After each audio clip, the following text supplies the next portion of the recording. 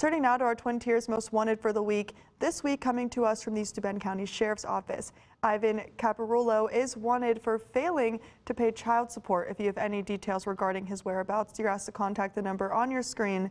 Twin Tiers Most Wanted airs every Thursday, and you can see other Twin Tiers Most Wanted profiles on our website, mytwintiers.com.